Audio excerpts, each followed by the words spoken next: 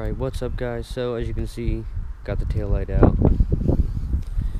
And um, basically I'm just going to be a quick video on just basically putting in another head tail light. Um, so this is still the factory one. I actually had to pull it out because it was starting to condensate inside of it. So I pulled it out, used the hair dryer to dry out the um, inside lens of it just by um, just by basically popping out the um, the back lights. So you'll have turn signal in there. You got the reverse light way down there, and then that's one of the LED plugs, LED plug, and then you'll have the LED connector, main connector that goes into the car itself. Um, it's actually pretty easy. Um, all you gotta do in the trunk, you pull off this little tab. You basically just pull back on it, and then one side will fold out, and then basically it's just like a puzzle piece. You can just pull the whole thing out and then it'll show you the whole setup for it. And then the reverse process is basically the same. You just basically put one side in and then bow in the top clip it together and then last pull the back the back piece just push it in. And then make sure it's all set right. That's pretty much it though to get it back in but so to put this in, all you gotta do is um just grab the tail light and then you go up to the car, slide it in, just make sure it hooks into this clip right here. That way you see it.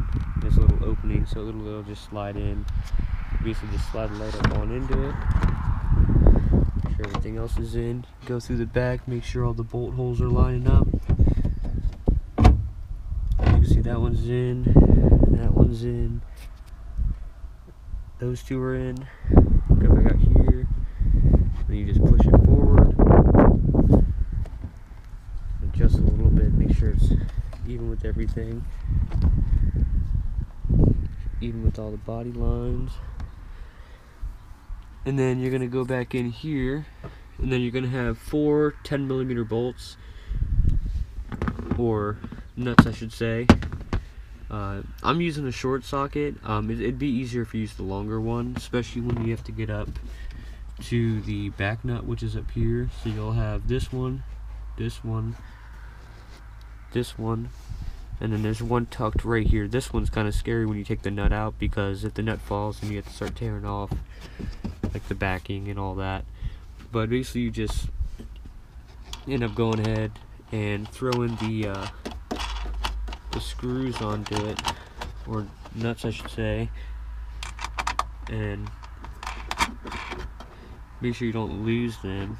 This, like I said, this is this is the scary one because if you drop it, it's like oh. But yeah. So the main reason I took the light off is was is because it's starting to condensate. The um from Hyundai, the actual the rear seals apparently when they actually squish against the um, body of the car they don't seal it up all the way and it actually allows water to seep back down through behind and into the trunk with where the spare is. So that's kind of an issue. So I mean I already talked to Hyundai about it. Hyundai said they would replace the seals and uh, check out the taillights as well to make sure everything is going fine. Um, so if you do have a Genesis keep that in mind. Just tell them even if you are expired from your warranty or if you're a previous person or like a new owner like I am um, they actually do with stuff like that they said they would actually cover it outside the warranty but it would have to be six months outside of the warranty. Anything past six months then you would have to fill out basically a paper and submit it to Hyundai um, to see if they would approve it for either like a partial partial payment towards something getting replaced or a full-on paid version. Um, my guess is with it being from Hyundai, an OEM part, I don't know if Hyundai is going to be stingy about it or not. I mean, I don't want to say they aren't going to be stingy, but at the same time, you never really know because with Hyundai and all main dealerships, they like to make their money. They don't like to lose money. So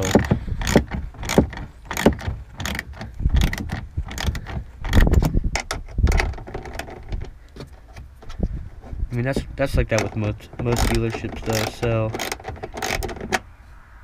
but yeah, and then with these, you just tighten them down. Um, don't tighten them too tight because you could actually potentially pull the um, the actual stud out of the plastic housing. So just do it just so it's just about hand tight.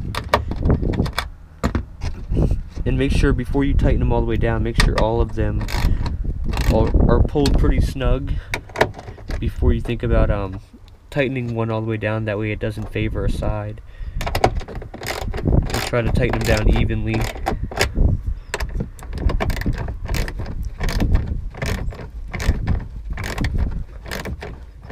And like this end one is always, this end one is the worst one to get to because you end up banging against the interior, banging against the other side of the interior by the wires.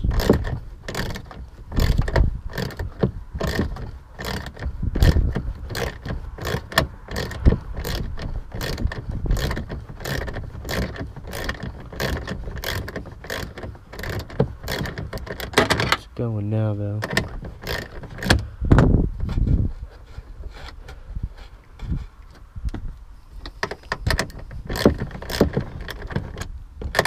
But yeah, this is basically just a quick video showing showing just like let's say you did buy replacement taillights and threw them in. This is literally basically the exact same process you're have to go through. All in all, it's really not that bad. It's pretty um pretty, pretty basic really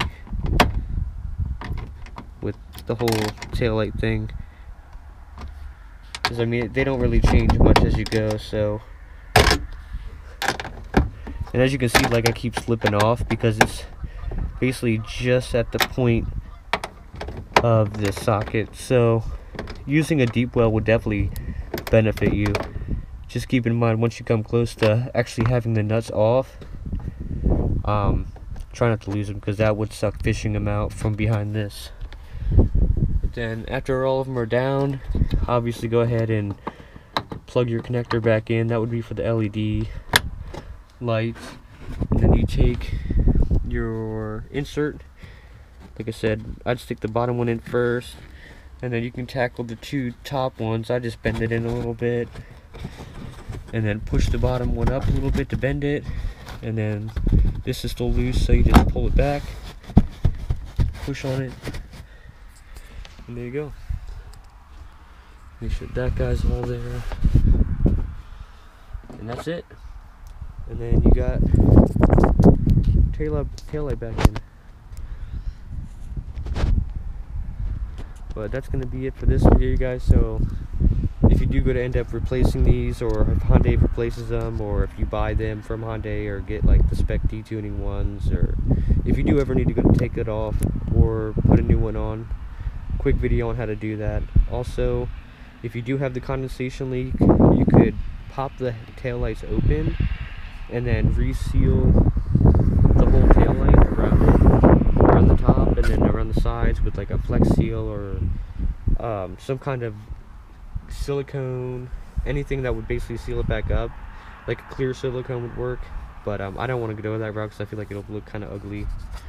But that would basically be it for all that stuff. Or you could just buy new ones too, that would be the faster option but it's going to also be the more expensive option as well. But that's going to be it for this video, guys. Thanks for watching. I got another video coming out too, so stay tuned for that. If you're not already subscribed to the channel, smash that subscribe button. And like always, have a good day, guys.